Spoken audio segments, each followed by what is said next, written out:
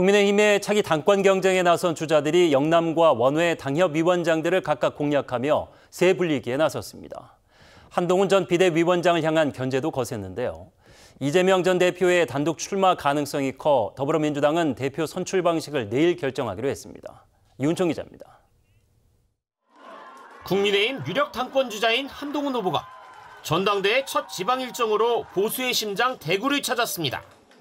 저는 대구 경북이 어려울 때 대한민국을 여러 차례 지켜낸 것을 대단히 자랑스럽게 생각합니다.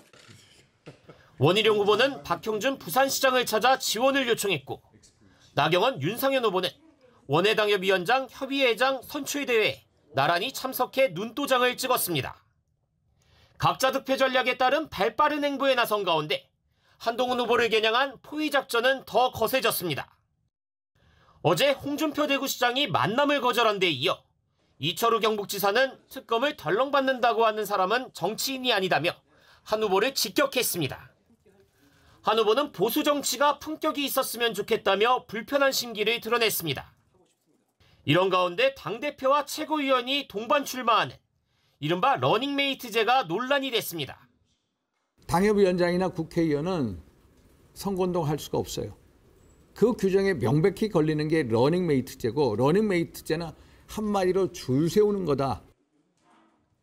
하지만 전당대회 선관위는 당원당규를 위반한 것이 아니라고 일축했습니다. 더불어민주당도 전당대회 준비를 위한 첫 회의를 열었습니다. 이재명 전 대표의 단독 출마 가능성이 커 어떤 방식으로 대표를 선출할지 핵심 과제입니다.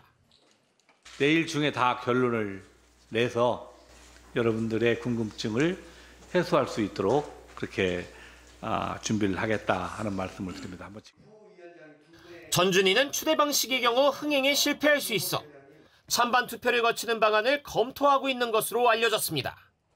OBS 뉴스 윤총입니다.